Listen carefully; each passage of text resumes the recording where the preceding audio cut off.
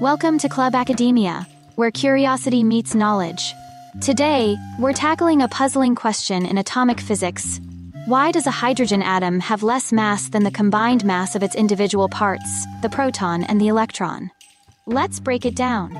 A hydrogen atom is the simplest atom, consisting of just one proton in its nucleus and one electron orbiting around it.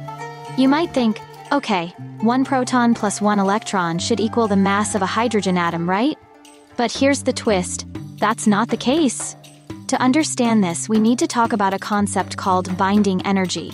When the electron is bound to the proton, they are not simply floating together, they interact through electromagnetic forces. This interaction does something interesting. It causes a change in the total mass of the system. Now, let's break that down. The mass of a proton is about 1.0073 atomic mass units, and the mass of an electron is approximately 0.0005 atomic mass units. If we add these together, we should get a total mass of about 1.0078 atomic mass units for our hydrogen atom. But here's where it gets interesting. The actual measured mass of a hydrogen atom is minutely less than sum of its parts. This brings us to the concept of mass defect. When protons and neutrons come together in a nucleus, some of their mass is converted into energy which holds them together. This is described by Einstein's famous equation, E equal to mc square. So, when the hydrogen atom is formed, a tiny bit of mass is lost in this process. In the case of hydrogen, this mass defect is incredibly small but significant. The energy that binds the proton and electron together in the atom means the total mass we observe is slightly less than the sum of the individual masses.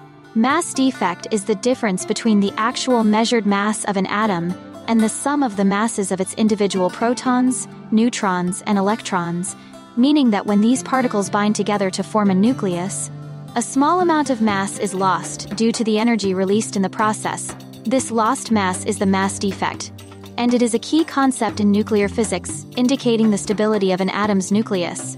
This discrepancy can be explained by the concept of potential energy. When the proton and electron are brought together to form a hydrogen atom, they experience a strong electrostatic attraction. This attraction lowers the potential energy of the system. Here's the key. As the electron orbits the proton, it's in a lower potential energy state than when they're separate. This drop in potential energy is crucial. It means that energy is released during the formation of the atom. And as we know from Einstein's equation E equal to mc square, energy is equivalent to mass. When the hydrogen atom forms, some of the mass of the individual particles is converted into energy that binds them together. This binding energy is what keeps the atom stable and explains the mass defect we observe.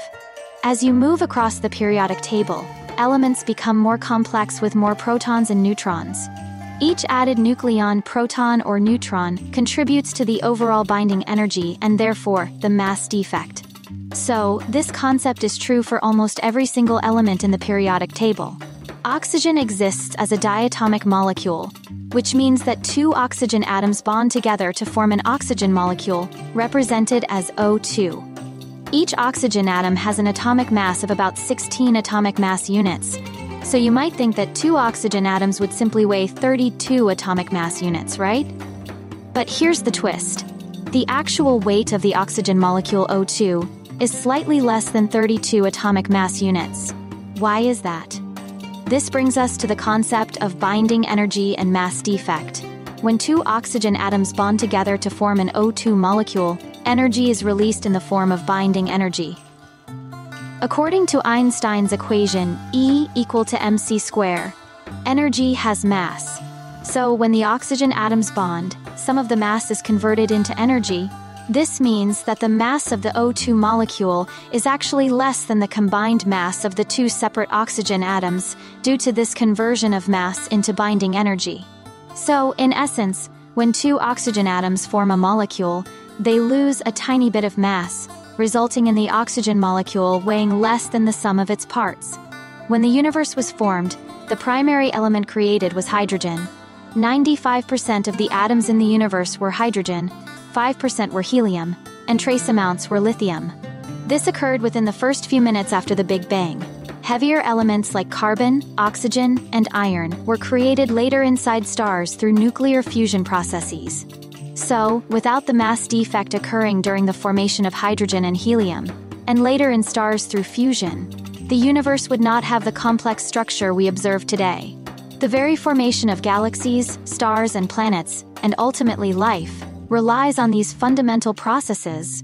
In summary, mass defect is not just a quirky atomic phenomenon, it's a cornerstone of our universe's creation story. It explains how the lightest elements formed shortly after the Big Bang, and how heavier elements came to be, leading to the rich, diverse cosmos we inhabit. If you enjoyed this dive into atomic physics, make sure to hit that like button, subscribe, and ring the bell for more intriguing science explorations on Club Academia. And remember, keep questioning and exploring the amazing world of science. Until next time, take care.